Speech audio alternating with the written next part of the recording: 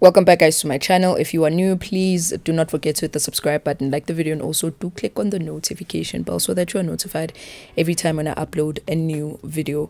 So uh, Mihlali decided to clarify some few rumors. Um, allegedly, people on her comment section were saying she might be pregnant and i understand why they might be insinuating that but i also feel like why did she feel the need to clarify anything why did she feel the need? Uh, if she is pregnant, congratulations to Mihlali. If she isn't, nalapo, it's okay. And also, in case you missed it, uh, Mihlali is allegedly back together with Leeroy, and rumor has it that um, they really didn't break up. Uh, whatever that was going on, it's between them. But yeah, rumor has it that the two didn't really break up, and I feel like even if uh, they are back together, and they actually did break up and somehow some way Leeroy found his way back to mihlali.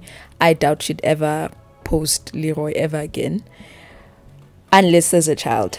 Unless there's a child coming. Obviously people are gonna wanna dig into who's the father uh, but anyways, uh, please let us know what you think on the comment section. And also, congratulations to Mihlali Man and her work ethic in terms of like her being consistent in the gym. Please let us know what you think on the comment section and do not forget to like, comment, share, and subscribe. Thank you.